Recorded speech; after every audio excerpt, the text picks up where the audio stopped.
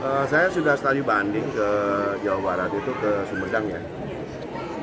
Ya penanganan sistem ter- aplikasi yang terintegrasi itu ya kalau memang kalau dibandingkan eh, target penurunan stunting di Jawa Barat itu Bogor itu bagus.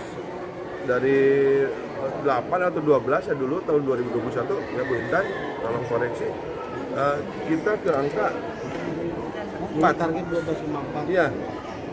Turunnya bagus. Kita masih kalau dilihat dari presentasi dengan Sumedang masih bagus Kabupaten Bogor. Yang kemarin rujukan Pak Presiden kan apa belajar ke semua se Indonesia datang. Tapi kalau dari eh, perbandingan turunnya persentase penanganan stunting di Bogor ini luar biasa bagus. Cuma dikonversi dengan jumlah orang ya paling besar lah. Gitu aja. Jadi eh, ya risiko tadi kata Pak Dhani, risiko yang penduduknya besar. Kalau dibandingkan dengan Kuningan, dengan Banjar ya jauh lah. Pasti Bogor yang besar. Masalahnya stunting, eh, masalahnya apa poli, apa bukan poli ya, kemiskinan, pengangguran pasti besar.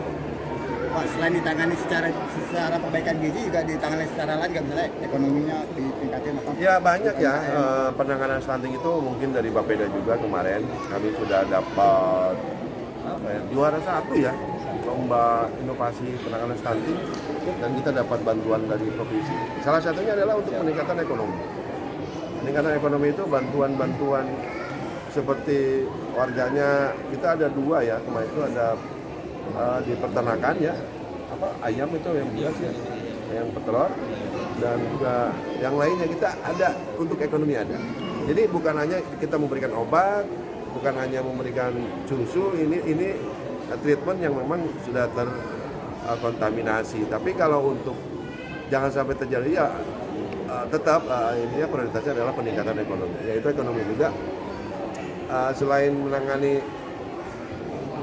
langsung ke pengobatan ya yang jangka panjangnya adalah ya bagaimana orang-orang yang terindikasi stunting itu dikasih inilah dikasih usaha itu yang memang Termasuk perbaikan sanitasi pak?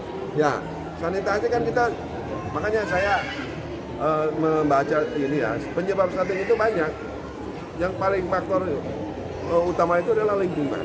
Ya, lingkungan itu lingkungan ya daerah miskin, kumuh, yang ya itu kan pasti terindikasi dengan yang namanya sanitasi, ya kesehatan eh, sumber air dan lain itu ya penyebabnya. Makanya kita juga punya kegiatan-kegiatan peningkatan untuk menghilangkan apa bagaimana pengadaan air bersih itu yang